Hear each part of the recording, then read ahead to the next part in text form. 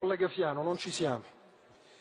Non ci siamo in primo luogo perché è e resta illiberale, comunque la raccontiate, ritenere che delle opinioni che a voi e anche a me non piacciono, ma per il solo fatto di non piacere a voi e a me, voi ritenete che queste opinioni non debbano circolare. Questo è illiberale.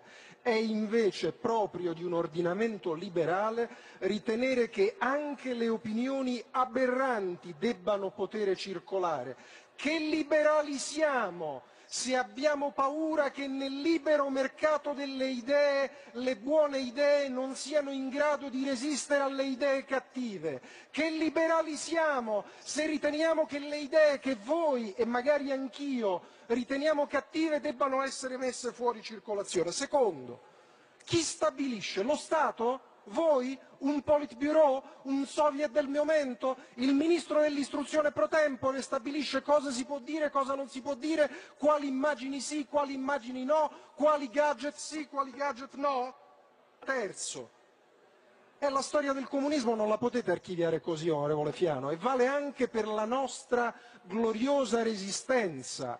Se siamo persone che hanno occhi per vedere e memoria buona, anche in quella resistenza occorrerà ricordare che c'erano coloro che erano antifascisti in nome della libertà e c'erano coloro che erano antifascisti in nome di un'altra dittatura per imporre una dittatura di segno diverso e non potete impedire di ricordare questa che è una elementare verità storica. Allora la faccio breve, signora Presidente, la sostanza è questa.